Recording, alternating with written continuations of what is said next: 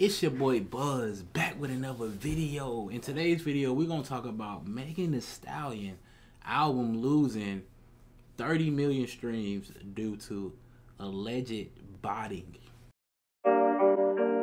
Whoa, whoa, whoa, whoa, whoa. whoa. Boom! So we back. Hey, look, man, I told y'all, bro. I've learned a lot in the past couple years, bro. When it come to botting, these major labels are botting for sure, bro. You know what I mean? You heard a rumor come out about Kendrick botting for Not Like Us. I can believe it. I know a lot of people don't want to believe it. You feel me? A lot of people don't want to believe it. Like, nah, we really listening to it. It's like, yeah. Yeah, y'all, y'all, us listening to it just helps the botting look even more authentic. Don't mean it's not happening.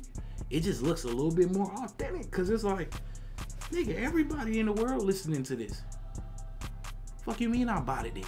I don't need bots. But in reality, niggas still botting to get that extra little, yeah. You feel me? So look, like I said, Megan Thee Stallion, new album reportedly loses 30 million streams due to alleged botting.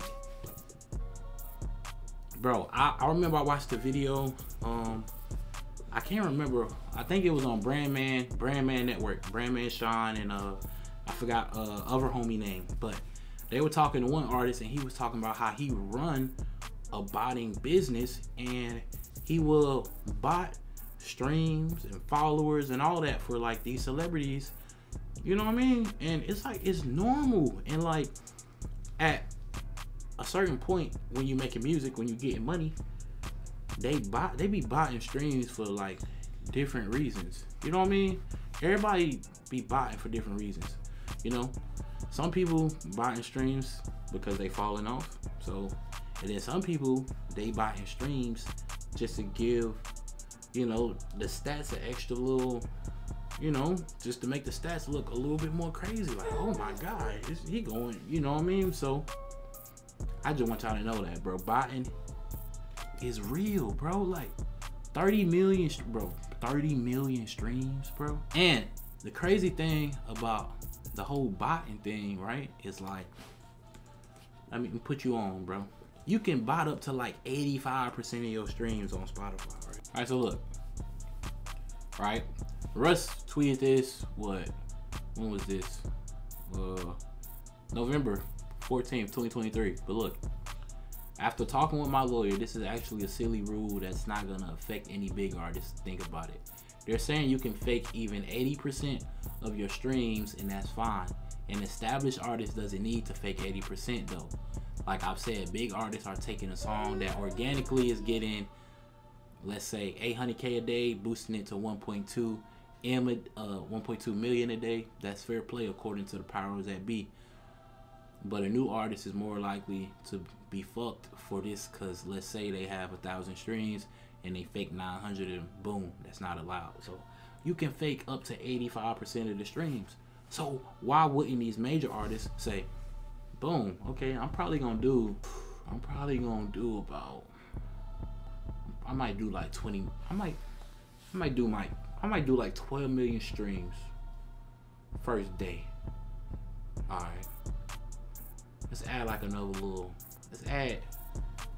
Let's add. Uh, we can add eight. Let's add eight million. Push it to okay. First day we did twenty million. Right. Right.